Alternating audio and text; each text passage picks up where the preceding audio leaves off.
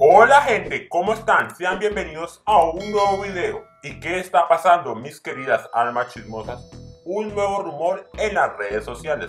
Recordemos que estos rumores debemos tomarlos con cautela y como un presuntamente y un supuestamente. Como muchos de ustedes sabrán, los rumores del divorcio y post-divorcio de Andrea Valdini y Felipe Saluma siguen tomando fuerza en redes sociales uno de los más grandes rumores es que afirman que presuntamente y supuestamente la familia de Felipe Saluma sería la culpable del distanciamiento de esta pareja. Y más en específico el papá de Felipe Saluma.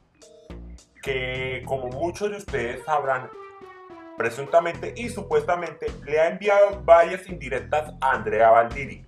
Y recordemos que hace algunas semanas él envió una indirecta acerca del narcisismo, a lo que Andrea Valdiri respondió y yo creo que sí fue una respuesta hacia este señor.